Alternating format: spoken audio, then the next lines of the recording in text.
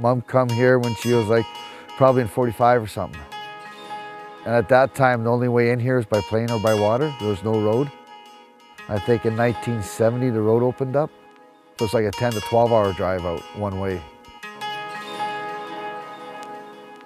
So what's interesting about this place in general is like, this is like the middlemost part of the world. You got the northernmost being Alaska and tons of people go there. You've got southern BC, you've got the States and whatnot. But here it's like kind of the middle of this giant range. And uh, we wanted to see what this whole coast was about. So we took the ferry up and the ferry just afforded us these views of amazing mountains and the oceanscape. And that's really what northern BC is about, is just right where the mountains meet the water. We just saw a lot of really remote, beautiful country. It's, it's huge up here. It's super vast and it's uh, pretty special because a lot of it's really untouched.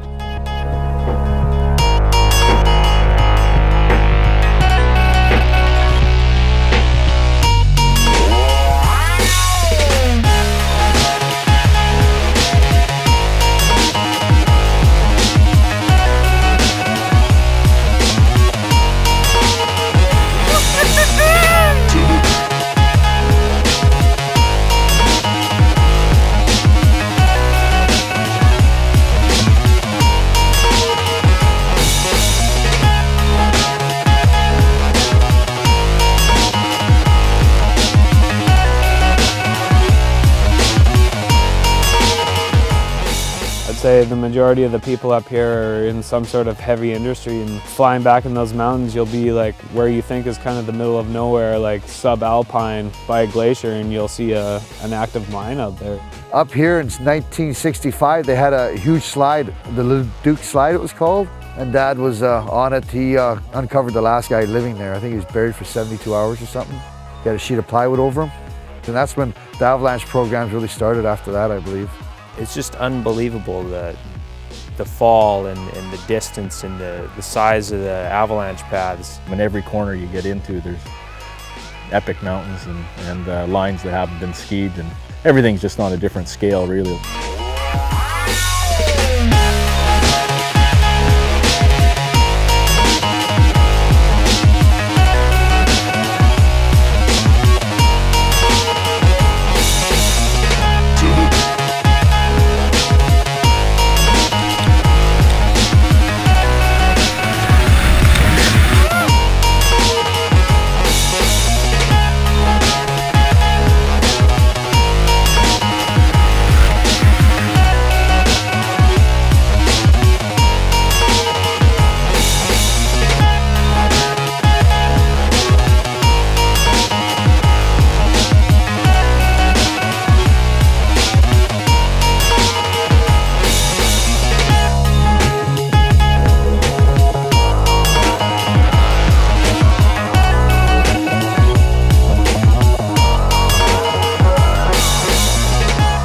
First four days of this trip, we were in uh, Bell 2, which is a lodge that's just like two hours north of Stewart. The fifth day, we got to take the heli and fly to Ripley Creek, which is in Stewart, and we got to fly all the way there, skiing through like some unbelievable mountains.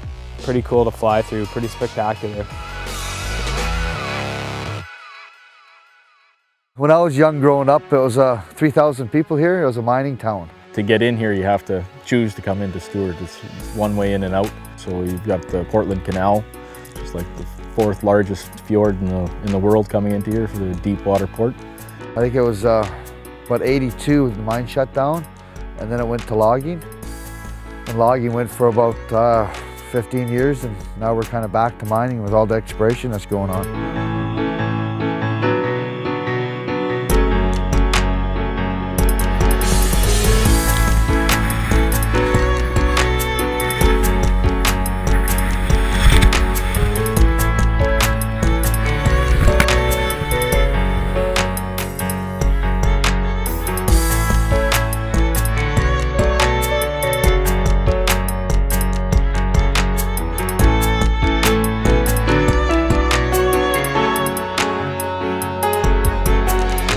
I know when Granduc come here and you could only fly in or boat in, a lot of those people that come here are still here.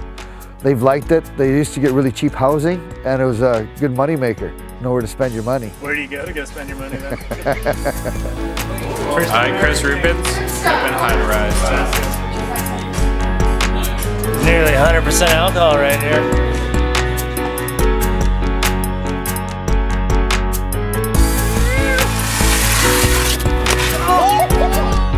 You know, it's interesting here, like a lot of places we go is like very tourist based. There's a lot of people around. Up here, it's it's blue collar workforce. I mean, we've met a lot of people along the way and they're all up here to, to mine, they're up here to log, they're up here to work for the forest, they work for for the avalanche control. That's that's what they do. There's that's you know they're up here for a reason that's related to the, the economy, and to come up here as a tourist is a totally different experience.